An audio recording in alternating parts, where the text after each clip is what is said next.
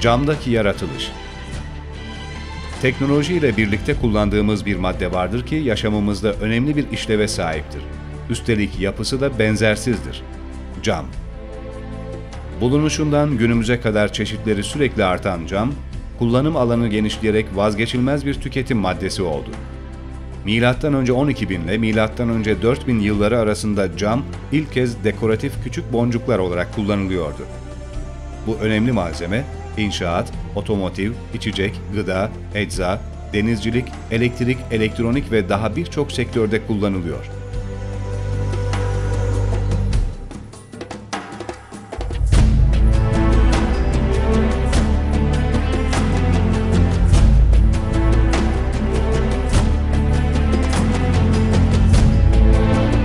Cam, maddenin katı ile sıvı arasındaki özgün bir halidir.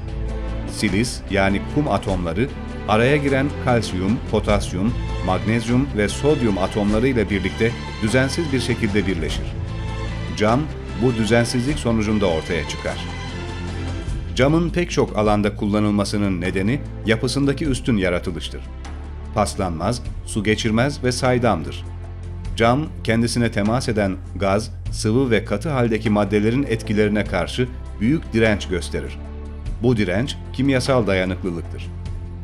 Üstelik camın kimyasal dayanıklılığı ayarlanabilir bir özelliktir de. Camdaki alkali oranının yüksekliği camın kimyasal dayanıklılığını zayıflatırken boroksit, alüminyum oksit, çinko oksit ve zirkonyum oksit ise camın kimyasal dayanıklılığının artmasını sağlar. İşte bu özellik sayesinde de çözücü, parlayıcı birçok kimyasal cam kaplarda saklanabilir. Camın mekanik özellikleri de mucizevi niteliktedir. Bazı özel yöntemlerle camın dayanıklılığı yüksek oranlarda artırılabilir. Sertleştirilmiş camlar oldukça dayanıklıdır. Tekmeyle ya da çekiç darbeleriyle bile dağılmaz. Bunun yanında iki cam tabakasının arasına başka bir kimyasal ekleyerek cam daha da dayanıklı bir hale getirilebilir. İlginç olansa bu yöntemin tam da en ihtiyaç duyulan zamanda yani otomobil çağının başladığı yıllarda keşfedilmiş olmasıdır.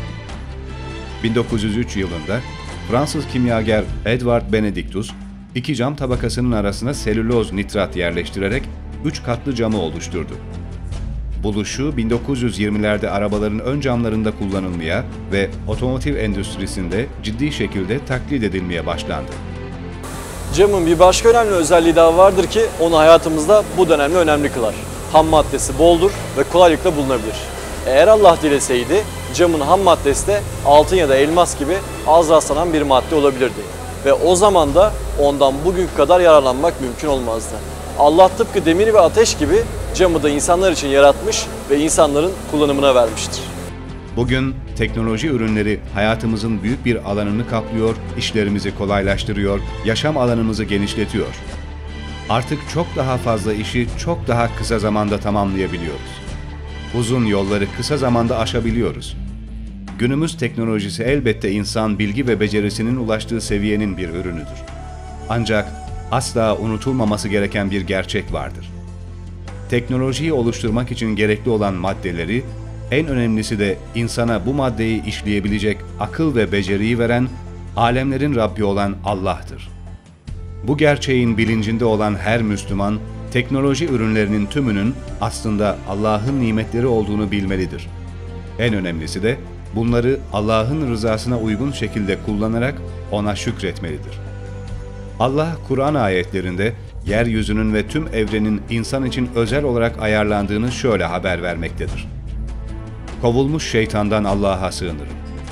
Allah kendi emriyle gemiler akıp gitsin ve onun fazlından ararsınız diye sizin için denize boyun eğdirdi. Umulur ki şükredersiniz. Kendinden bir nimet olarak göklerde ve yerde olanların tümüne sizin için boyun eğdirdi.